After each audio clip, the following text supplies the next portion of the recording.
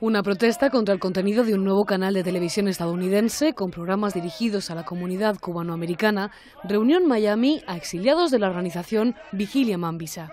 El proveedor de televisión por satélite This Network, a través de su nuevo canal Cubamax TV, ofrecerá en Estados Unidos una programación realizada en la isla caribeña que estos exiliados definen como castrista. Nosotros estamos protestando por el latino porque este, este, canal está de acuerdo con las autoridades catristas para traer el veneno aquí. Dish Latino quiere meterse aquí a traer programas de Cuba, lo cual a nosotros no nos hace falta. Desde telenovelas a películas, pasando por programas para niños y vídeos musicales de artistas cubanos. Todo ello aspira a avivar, según el gigante de las telecomunicaciones, el interés por las raíces y el origen cultural cubano.